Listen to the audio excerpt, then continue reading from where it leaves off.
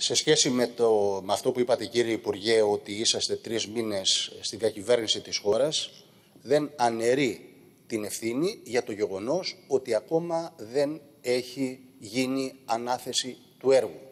Αυτές είναι κάποιες διαδικασίες, ανεξάρτητα αν είστε εσείς ή αν είναι κάποια άλλη κυβέρνηση.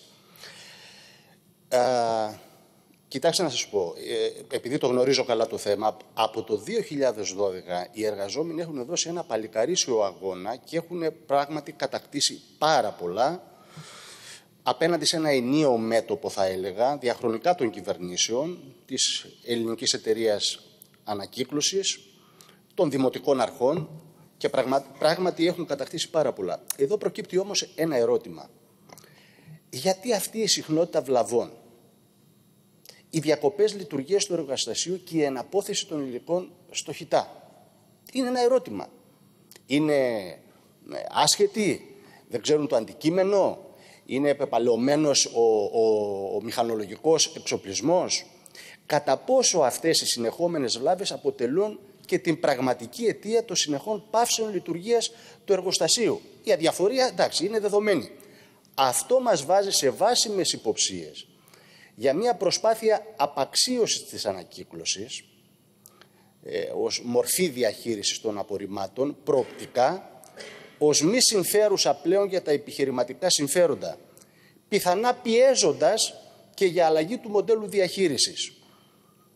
Μια γενική παρατήρηση, αυτό που βιώνουν οι εργαζόμενοι το πάρτι που γίνεται με τη χρυσοφόρα επένδυσης στα απορρίμματα είναι βασικό χαρακτηριστικό και της βιώσιμης ανάπτυξης της δικής σας και της δίκαιης ανάπτυξης του ΣΥΡΙΖΑ πριν. Γνωρίζετε πάρα πολύ καλά ότι περίπου στο 1 δισεκατομμύριο πρόκειται να ξεκοκαλίσουν επιχειρηματικοί όμιλοι από το ΕΣΠΑ 14-20 από κρατικά δάνεια μέσω της Ευρωπαϊκής Τράπεζας Επενδύσεων, επενδύοντας σε πανάκριβες μονάδες επεξεργασίας σημείκτων σκουπιδιών με ΣΔΙΤ, με ελάχιστο ποσοστό ανακύκλωσης, θάψιμο των σκουπιδιών και νομιμοποίηση της καύσης. Άλλωστε το, το ζούμε ήδη και στο Βόλο και στην Αττική, σε άλλες περιοχές.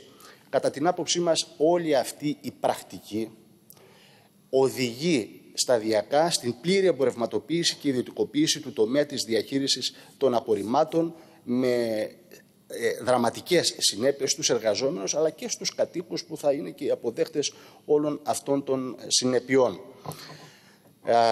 Εμείς ε, περιμένουμε να δούμε αυτή την ε, πρόταση που έχει κάνει ο ΕΟΑΝ προς την ΕΕΑ σε σχέση με την τοπική αυτοδιοίκηση αλλά πολύ φοβόμαστε ότι ακόμα και η τοπική αυτοδιοίκηση, η οποία είναι ένας κρατικός μηχανισμός, θα βασιστεί πού; Σε αυτή την ψευδεπίγραφη και προκλητική αρχή ο ρηπαίνων πληρώνει, που σημαίνει ότι θα ισχυροποιηθούν ακόμα περισσότερο τα ανταποδοτικά τέλη, υπηρεσίες καθαριότητας, άλλωστε εχθές ψηφίσαμε ε, αντίστοιχες διατάξεις στο πολυνομοσχέδιο ε, και τίθονται οι βάσεις για την εφαρμογή και σε επίπεδο νοικοκυριού ο κανόνας πληρώνω όσο πετάω.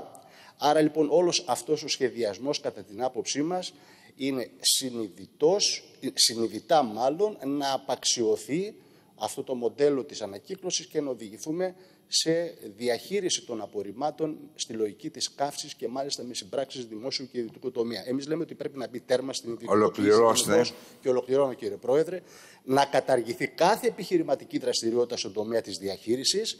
Λέμε όχι στην καύση των απορριμμάτων ε, αυτό που σας είπα προηγουμένως και όχι φυσικά να μετατοπιστούν τα βάρη στα λαϊκά στρώματα μέσα από τα ανταποδοτικά τέλη ή με οποιοδήποτε άλλο τρόπο να διασφαλιστούν οι εργαζόμενοι και όλα αυτά προφανώς μπορούν να γίνουν στα πλαίσια ενός ενιαίου φορέα διαχείρισης και τελικής διάθεσης των, απο, των αποβλήτων με κριτήριο Κύριε Συνδικάκη, δεν μπορώ ανάγκες, άλλο. Κλείστε. Ε, και μόνιμο, ε, με μόνιμο προσωπικό, πλήρη δικαιώματα και σύγχρονο εξοπλισμό αυτών των εργοστασίων. Ευχαριστώ κύριε Πρόεδρε.